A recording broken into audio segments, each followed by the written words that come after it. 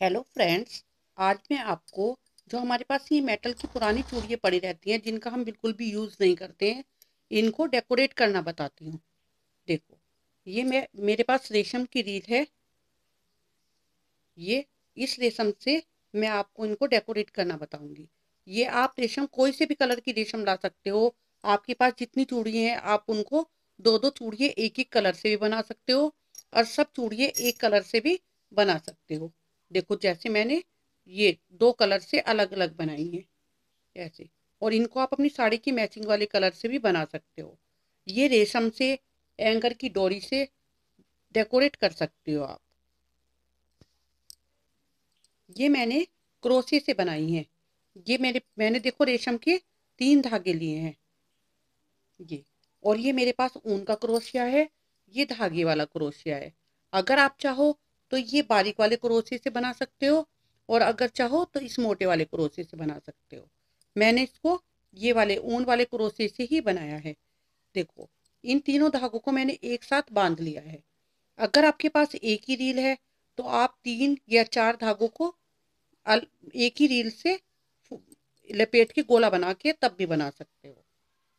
ये बहुत जल्दी तैयार हो जाएँगी और ये पहन के बहुत अच्छी लगेंगी। देखो, ऐसे ये चूड़ी के बीच में हमने क्रोशिया डाला है और इसको ऐसे करके ऐसे ऐसे चेन बनाई है ऐसे देखो ऐसे। एक बार और देखो, ये हमने क्रोशिया ऐसे डाला और ये धागा ऐसे अपनी फिंगर पे लेपेटा और इसको ऐसे लेके ऐसे निकाला है, ऐसे। और फिर यहाँ से सिंपल चेन बनाई है देखो, ऐसे फिर इसको इसको हम पकड़े रखेंगे ऐसे, फिर ऐसे निकाला।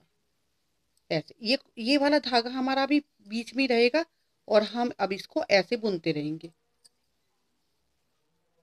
देखो, ये मैं सिंपल चेन बना रही हूँ। ऐसे।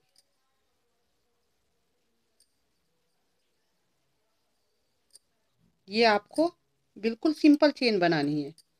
ऐसे।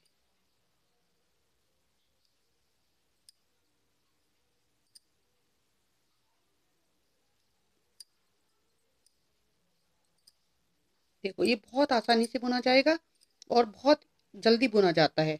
आपको जब आप शुरू करेंगे तो थोड़ी सी दिक्कत होगी, लेकिन उसके बाद आपका हाथ सेट हो जाएगा तो ये जल्दी जल्दी बुनने लगेगा। ऐसे। इसमें आप तीन चार धागे भी ले सकते हो। देखो, ये आपको ऐसे बुनना है। सिंपल में ये ऐसे लेके और ऐसे बना रही हूँ। देखो, इसके बीच में से क्रोशिया डाला, ऐसे निकाला। और फिर इनको दोनों को ऐसे निकाल दिया। देखो, सबसे पहले हमने क्रोशिया ऐसे चूड़ी के बीच में से डाला, फिर ये धागा ऐसे अपनी तरफ़ लिया, ऐसे, और फिर इन दोनों को एक साथ निकाला।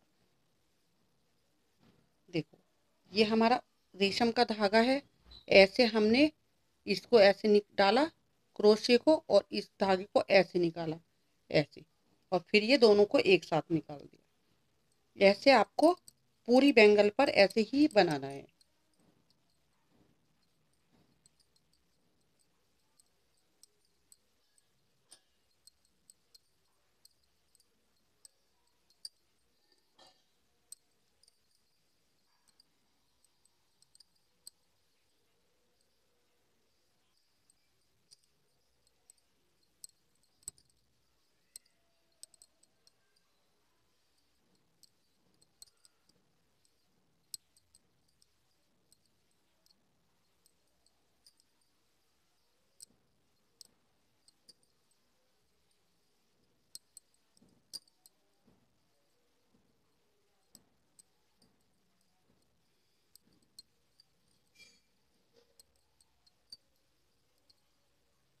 ये देखो।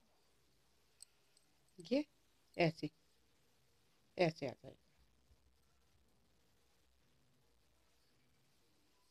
देखो, ये मैंने पूरी चूड़ी पे ऐसे ही किया है।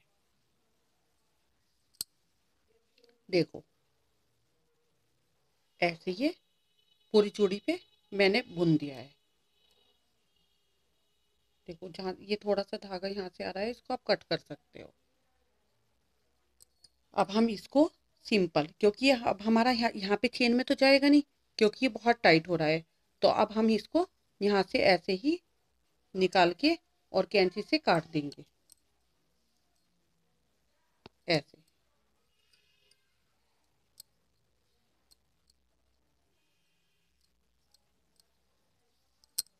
ये जो हमने जहाँ से शुरू किया था, वो धागा हमने बीच में लिया था ये वो वाला धागा है। तो इसको भी हम ऐसे सीजर से काट देंगे। ये देखो। अब हम यहाँ पे हल्का सा ग्लू लगाएँगे।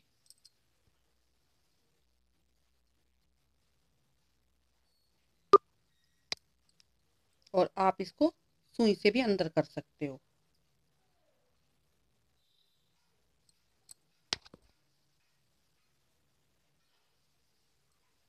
देखो, ये ऐसे मैंने पेस्ट कर दी है। नहीं तो आप थोड़ा सा धागा काट के रेशम सुई में डाल के और इसके बीच से भी निकाल सकते हो। देखो, ये पहनकर ऐसी लगती है। अगर आपको मेरी वीडियो अच्छी लगी है तो इसको लाइक करिए और मेरे चैनल को सब्सक्राइब करना ना भूलिए। धन्यवाद।